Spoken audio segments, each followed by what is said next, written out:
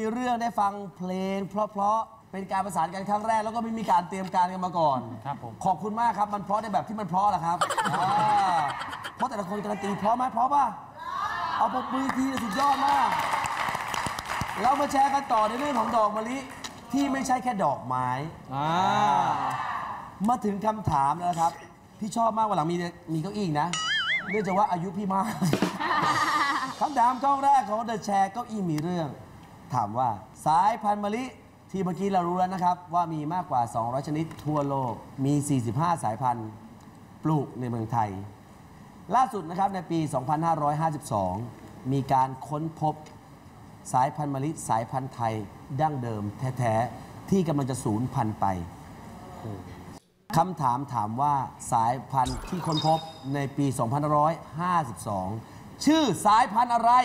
ข้อที่ 1มะลิ เฉลิมนรินทร์ข้อที่2มะลิฉัดนรินทร์ข้อที่3มะลิปันหยีเอาแล้วเอาแล้ว อันนี้สามารถมั่วได้ใช่ไหมคะ มั่วได้ค่ะ รู้ก็คงไม่เชิญมาหรอกค่ะ มันมีหลายๆอย่างที่เราไม่รู้อะไรก็ได้ครับ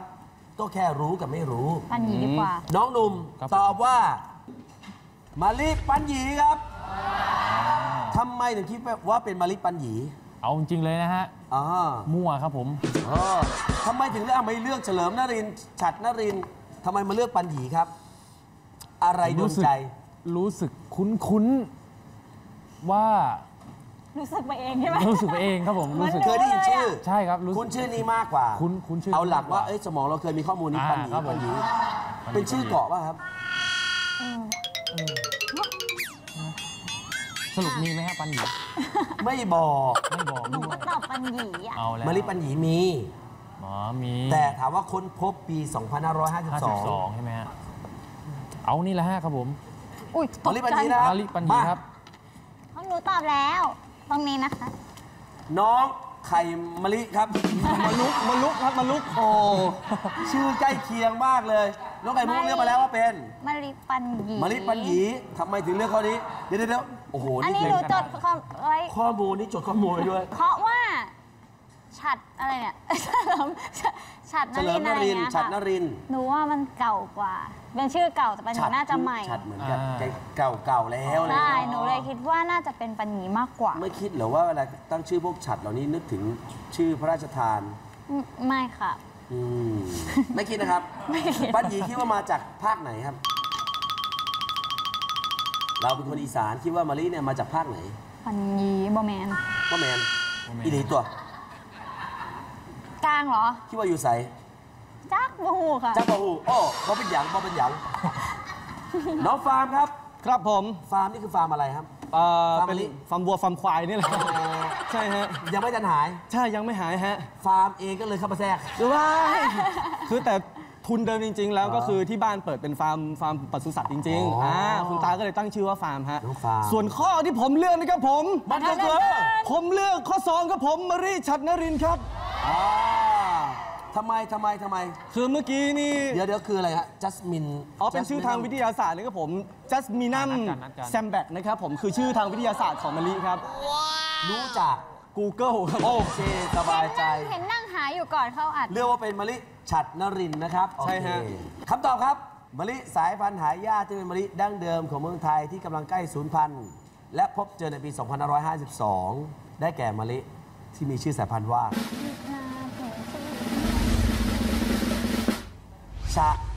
ฉัดปันมะลิเฉลิมนรินทร์ครับข้อนี้ไม่มีใครตอบถูกศูนย์เลยทุกคนครับ ข้อมูลนะครับ อันนี้เดี๋ยวเอาอ่านให้ฟังนะ ที่จดไว้ไม่มีผู้ความที่หมาค้ยนพบนะครับ ชื่อนี้เป็นชื่อพระราชทานนะครับเป็นชื่อพระราชทาน หลังจากค้นพบโดยดรปิยะเฉลิมกลิ่น เฉลิมนรินทร์มาจากเฉลิมมาจากนามสกุลของดรปิยะนะครับ อ๋อว่าแล้ว แล้วก็พบเจอกับผู้เชี่ยวชาญพิเศษนะครับ ร่วมกับนางสาวรูทเคียว ผู้เชี่ยวชาญเรื่องมะลิชาวอังกฤษครับ ปัจจุบันนี้ใกล้สูญพันธุ์แล้วมะลิเฉลิมนรินทร์นะครับ เป็นไม้เลื้อย ไม่ใช่ไม้ที่เราแบบนี้เป็นไม้เลื้อยอ่า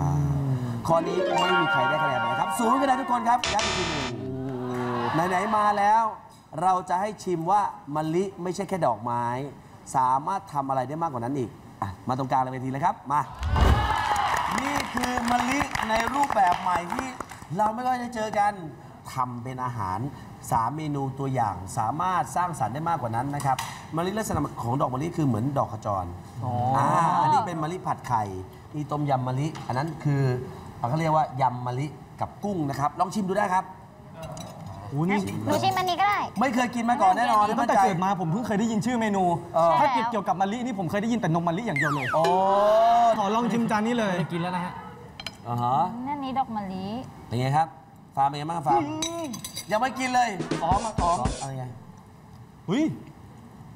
รสชาติเป็นไงเออมากินได้นะ เออ ค่ะมันกินได้ มันเหมือน ก็กินได้ มันเหมือนดอกแคร์ค่ะ อย่างที่บอกว่าเราต้องย้ำนะครับว่าเราต้องดูแหล่งที่มาด้วย นี่คนเหนือเขาเรียบร้อยดูดิน้องหนุ่มเนี่ยเขาถกเสื้อเนาะเป็นไงบ้างครับอืมนอกจากนั้นนะเซอร์ไพรส์ไหมมากกว่านั้นครับ เรามีผลิตภัณฑ์เกี่ยวกับมะลิเยอะเลยครับอืมโซบะ หรือว่าโซฟสบู่ สบู่หอมกลิ่นมะลินะครับ นี่อะให้ดูให้ดูเดี๋ยวให้ด้วยเดี๋ยวให้กลับบ้านด้วย อันนี้คือ เป็นเจลว่านหางจระเข้และน้ำดอกมะลิครับโอ้นี่มีอีกครับ มะลิเลย อันนี้เป็นน้ำมันบำรุงผิวกลิ่นมะลิครับอ่ามะลิก็จะมีน้ำมันของตัวเองเหมือนกันอ่าคือนี้ที่ผมไปสืบทราบมาน้ำครัมับนผมหอมระเหยของมะลินี่ถือว่าราคาแพงติดอันดับตลาดโลกเลย สุดยอดมากน้องฟาร์มทำกันบ้านมานะครับฮะนี่คือน้ำมันนวดและแช่อาบกลิ่นมะลิครับอ่านั่นก็ตัวมันเลยใช่ไหมคะใช่ อันนี้เป็นนี่เจลบำรุงผิวกลิ่นมะลิ โอ้อุ้ยนี่น่าจะเหมาะกับสุภาพสตรีกลิ่น jasmine ดีมะลิใช่ทำเป็นน้ำหอมต่างประเทศอะทำเป็นน้ำหอมนะกลิ่น jasmine ที่เรารู้จักกัน jasmine อ่าเราดูนี่อีกครับโอ้โหโอ้น่ารักจังนี่ทำมาเป็นหลายแพ็กเกจรวมกับอย่างอื่นมะลินะครับเป็นมะลิด้วยนี่ hand cream อ่าเดี๋ยวจะมอบให้คนละชุดเลยเอออย่างที่บอกนะครับว่าดอกมะลิเป็นมากกว่าดอกไม้ นอกจากเป็นตัวเรื่องของตัวแทนความรักแล้ว เศรษฐกิจก็ยังได้ด้วย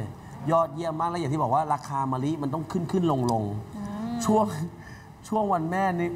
เรารู้แล้วว่าราคาหนักเลยฮะโอ้โหขึ้นเลยฮะอย่างหนักอะอย่างหนักจะตุนสต็อกแบบคุณก็ไม่ได้ เดี๋ยวเน่า เออ ของมีระยะเวลา สิ่งที่เราอยากจะขอร้องคุณผู้ชมคือใครก็ตามที่ทำเกี่ยวเรื่องของดอกมะลินะครับ กรุณาทำให้มันเรียกว่าปลอดภัยทั้งคนปลูก คนซื้อด้วย เพราะว่าเราเร่งมาก ๆ เข้าบางทีมันสารเคมี มันส่งผลในอนาคตโดยไม่รู้ตัว โดยเฉพาะเรื่องของอาหาร เมื่อกี้ได้ชิมรสชาติอาหารเป็นไงบ้างครับ อร่อยค่ะ อร่อยเลยฮะประทับใจไหมโอ้ยใช้คำว่าประทับจิตตึงใจ โอ้โห เดี๋ยววันนี้กลับบ้านที่สกลนครครับบอกผม ให้แม่ซอยมะลิซอยมะลิทำเลย ใช่ครับผมเออ ทำอาหารกิน ผมว่าน่าจะเอาไปทอดไข่เจียวน่าจะดีนะ ว้าวและช่วงหน้าเราจะมีคำถามเกี่ยวกับดอกมะลิ เช่นเดียวกัน แต่ว่าจะเป็นอะไร ตอนนี้ทั้งคู่ไม่มีใครได้คะแนนนะครับช่วงหน้ามีโอกาสเอาคะแนนคืนนะครับ กลับมาครักับบเดอะแชร์ก็อีกมีเรื่องครับ พ่อเดี๋ยวจะดูแลแม่เอง ตอนนี้ก็พยายามอยู่เดี๋ยวเรารัก